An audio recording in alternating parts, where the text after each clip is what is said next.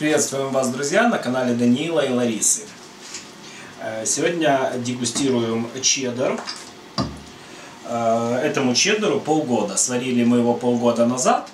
И э, есть видео о том, как мы варили этот сыр. Ссылку на видео я размещу в описании этого ролика обязательно. Ну, а сейчас, конечно, он очень твердый. Сейчас, друзья, попробуем его разрезать и продегустировать. Не знаю, что из этого получится, но резать надо. Нет, не такой он твердый, как я ожидал.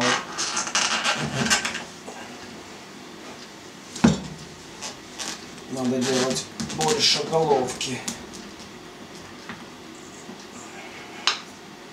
Надо делать больше головки, потому что маленькие головки неадекватно, но Структура чеддера. Запах тоже чеддера. Это уже не может не радовать.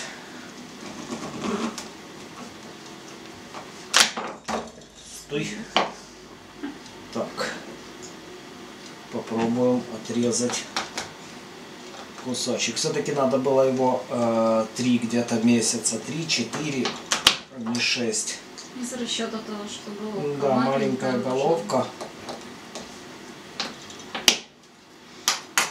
Ну что, друзья, давайте я покажу разрез в первую очередь. Вот такой у нас получился чеддер, очень структурный, очень мраморный, как видите. При чеддеризации мы допустили э, небольшую ошибку.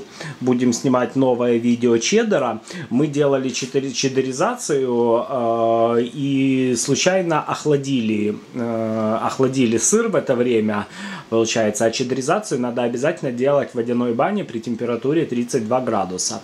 Вот поэтому мне эта структура не очень нравится.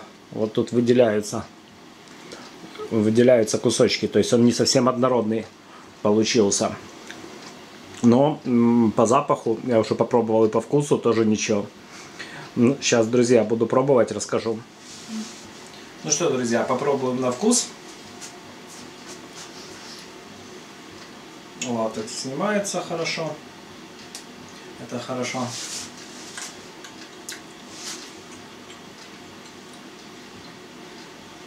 Ну, во-первых, на запах он пахнет точно как чеддер. Единственное, что он сильно структурированный у нас получился. То есть вот сильно эта мраморная структура видна, и такого быть не должно. Но это из-за нашей ошибки. На вкус он тоже очень крутой. Ну, вот немножко похож, такое послевкусие классное, немножко похож на пармезан. Но это, в принципе, чеддер, это твердый сыр. Э, они где-то в какой-то степени родственники с пармезаном. Мне очень нравится.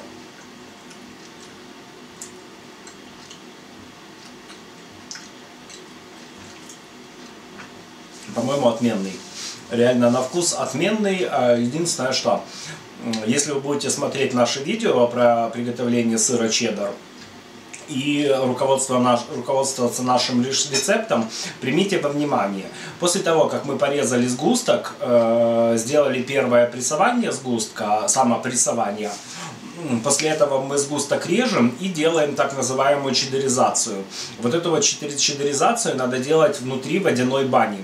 То есть ни в коем случае сыр не остывать. Мы его э, не, не, не дать ему остыть. Что, Лариса?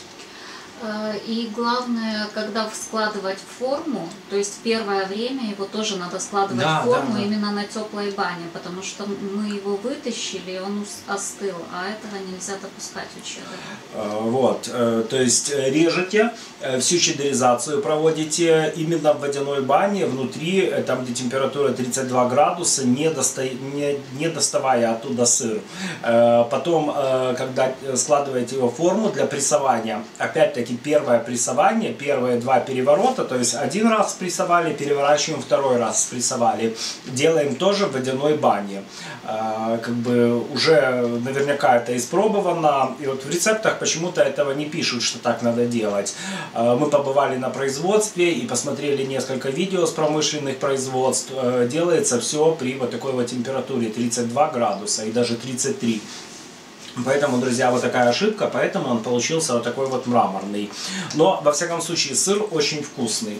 Реально очень вкусный. И, ну вот, он по вкусу э, классический чеддер. Просто классический. Ну, я же говорю, немножко, э, немножко напоминает пармезан. Но мне очень нравится. Э, ну, собственно говоря, э, рецепт годный, рецептом можете пользоваться. Если у вас есть какие-то вопросы, задавайте их в комментариях. Если вам понравилось видео, ставьте лайки. Если не понравилось, дизлайки. Подписывайтесь на наш канал, чтобы не пропустить наши новые интересные рецепты. Ну а, собственно говоря, мы будем снимать для вас новые видео. Всего доброго, пока!